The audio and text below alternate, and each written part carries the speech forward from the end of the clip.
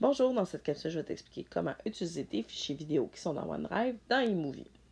Donc, première étape, sur ton iPad, tu vas démarrer l'application OneDrive. Une fois qu'elle est démarrée, tu devras te connecter dans ton compte de service scolaire. Une fois que c'est fait, tu vas accéder à tes fichiers vidéo. Donc, on voit tous mes dossiers et fichiers qui sont dans mon nuage. Donc, par exemple, ici, je peux voir mes fichiers vidéo. Vis-à-vis -vis mon fichier vidéo, je vais appuyer sur les trois petits points et je vais sélectionner l'option Ouvrir dans une autre application. Puis ici, on peut aller ajouter des applications. Si vous ne voyez pas eMovie, vous pouvez ici aller voir et sélectionner eMovie dans la liste. Donc, il faut absolument que l'application soit installée sur l'iPad pour que vous puissiez le sélectionner. Donc, si j'appuie sur eMovie, ici, et on me demande ce que je désire faire. Donc, ajouter cette séquence vidéo à un projet déjà utilisé ou créer un nouveau film, ce que je vais faire à l'instant. Et on voit que ma séquence vidéo vient de s'ajouter.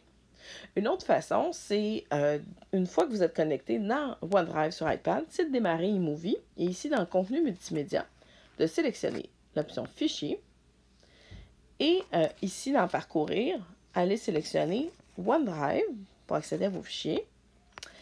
Sélectionnez Fichier et là vous allez voir tout le contenu de votre nuage et vous pourrez également de cette manière accéder à votre fichier vidéo.